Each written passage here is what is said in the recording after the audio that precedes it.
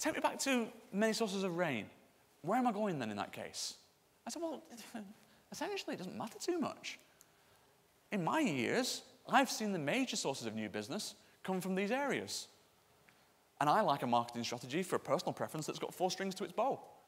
He said, oh, referral creation, I'll have some of that. That's what we do now seminars, we run some of those. I'll, I'll keep that in the place. Um, Cross-selling, that, that, that appeals to me as well. That's fine. I might try that telemarketing as well. That's come up there and again.